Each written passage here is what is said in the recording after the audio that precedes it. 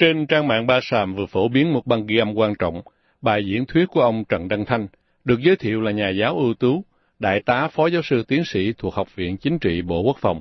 nói chuyện trước một cử tọa gồm các nhân sự về mặt đảng trong các trường đại học như lãnh đạo đảng ủy khối, lãnh đạo đảng, tuyên giáo, công tác chính trị, quản lý sinh viên, đoàn, hội thanh niên các trường đại học cao đẳng Hà Nội.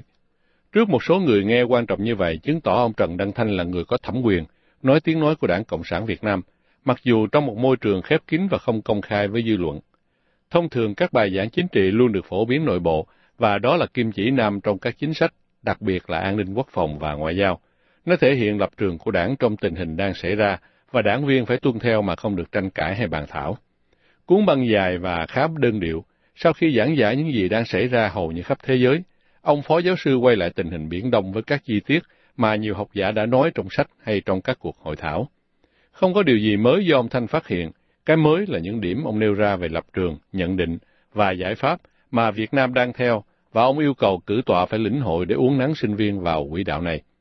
Mặc dù cố minh chứng rằng chính phủ không ưa gì Trung Quốc bằng cách trích dẫn những chiến thắng lịch sử mà sách vở đã ghi, ông Trần Đăng Thanh đã làm người nghe nếu ai có ý thức về vai trò Trung Quốc trong các cuộc chiến tranh với Việt Nam, phải tức giận bỏ ghế đứng lên rời phòng họp nếu không sợ mất nồi cơm của mình. Ông Phó Giáo sư Tiến sĩ nói.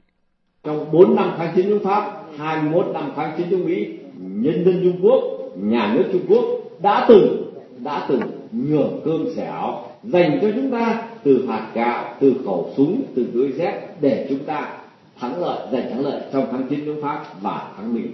Như vậy, ta không quên họ đã từng xâm lược chúng ta, nhưng ta cũng không được quên họ đã từng nhường cơm xẻo chúng ta. Ta không thể là người vong ơn bội nghĩa. Đấy là với Trung Quốc, hai điều không được quên. Chính ông Thanh mới là người không được quên khi ông không nhắc lại các cuộc xâm lược của Trung Quốc đối với Việt Nam trong cuộc chiến tranh biên giới năm 1979, cướp Hoàng Sa năm 1974 và Gạt Ma năm 1988. Ba cuộc chiến ấy đã vượt xa con số tiền bạc, khí tài mà ông Thanh luôn nặng nợ với Trung Quốc. Bao nhiêu bộ đội, anh hùng liệt sĩ cùng người dân vô tội đã ngã xuống dưới họng súng của Trung Quốc, đã bị ông Thanh bỏ quên một cách cố ý trong bài giảng chính trị này. Lời kêu gọi nhớ ơn Trung Quốc giúp Việt Nam chiến thắng trở thành lạc điệu đối với những người đã ngã xuống để cho ông Thanh có cơ hội đăng đàn diễn thuyết hôm nay. Trung Quốc không giúp Việt Nam vì tình nghĩa, mà lý do thật sự là dùng Việt Nam để đến Mỹ nhằm phát triển hệ thống cộng sản chủ nghĩa. Vì vậy, công ơn mà Trung Quốc nếu có, thì chỉ riêng bản thân Đảng Cộng sản Việt Nam phải mang, chứ không liên can gì tới người dân Việt. Cũng vậy, Mỹ tham dự vào chiến tranh Việt Nam trong chiến lược ngăn chặn chủ nghĩa cộng sản, mà nước này thấy rất sớm sự nguy hại của nó. Vì vậy, nếu căm thù Mỹ, thì người Cộng sản có lý do hơn người dân Việt Nam.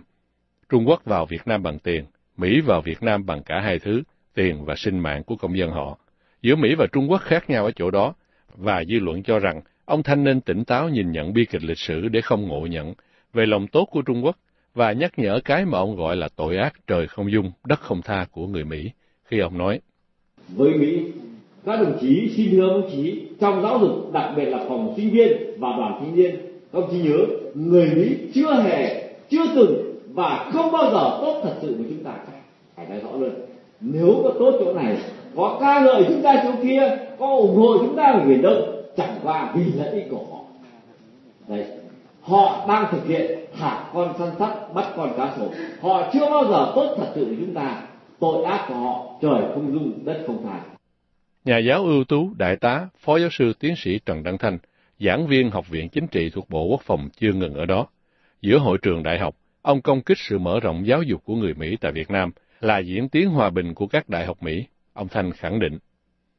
Hợp tác giáo dục là con đường ngắn nhất để cải thiện hình ảnh người Mỹ trong con mắt người Việt Nam ở thế hệ tiền lại. Thông qua giáo dục đào tạo là con đường ngắn nhất, con đường hiệu quả nhất để cải thiện hình ảnh người Mỹ trong con mắt thế hệ trẻ người Việt Nam. Cho nên một trong chín mũi tiến công là người Mỹ đang thực hiện diễn biến hòa bình trên lĩnh vực giáo dục đào tạo của chúng ta.